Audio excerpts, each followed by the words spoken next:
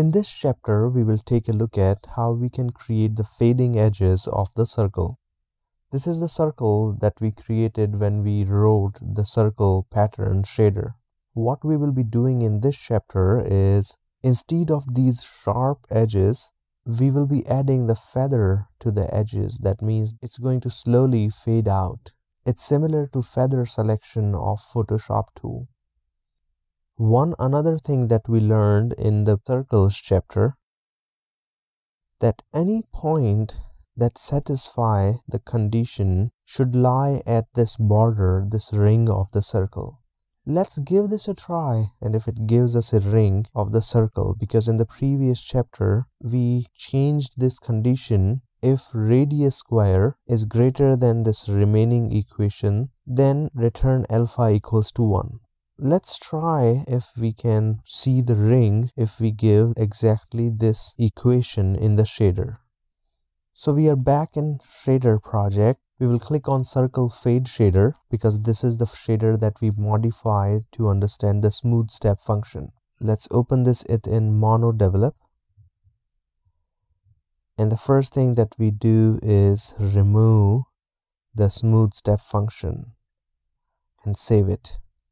Second thing that we will do is we will copy draw circle function and paste it and we will rename it as draw circle fade so that we can keep draw circle in the shader as well as we have another function which is draw circle fade.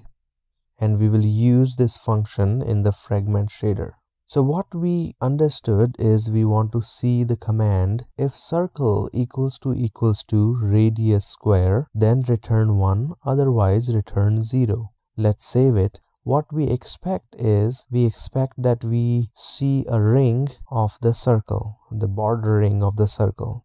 The fact is that we are not going to see anything. Why?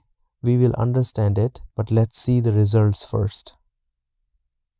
So everything is transparent. There is no ring. The reason why this condition is satisfied for a very small value which is lesser than a pixel. And that's why in the final calculation it does not impact the pixel color. So we don't see anything. So how about if we increase the range of it? We go back to our previous condition. And what we say here is if circle is less than circle square plus we create a tiny border, a small value. A circle is smaller than radius square plus 1 and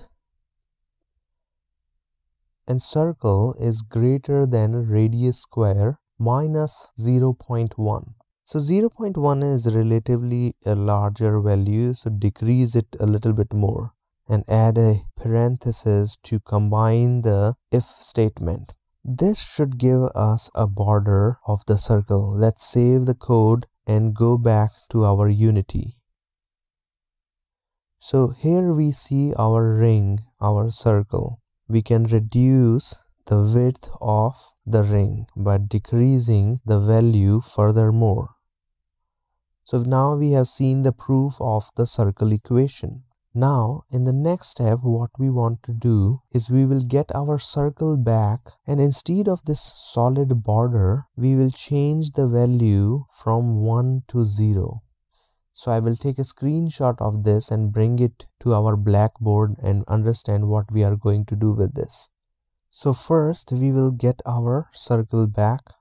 So we will fill this area with the solid color and this border this is just a intersection of a border. We will go from alpha value 1 to 0 and in that way we will see a fading edge effect of the circle. So everything inside the circle is going to be alpha is equals to 1 and for this border value we will decrease the alpha from 1 to 0 so it will go from completely opaque to transparent.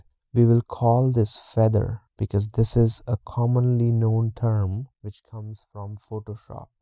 So we will add a parameter in our shader called as feather. Second thing is we will be using a smooth step function. the third thing is when we will provide the range to the smooth step function we will be providing it from radius square to radius square minus feather and then the value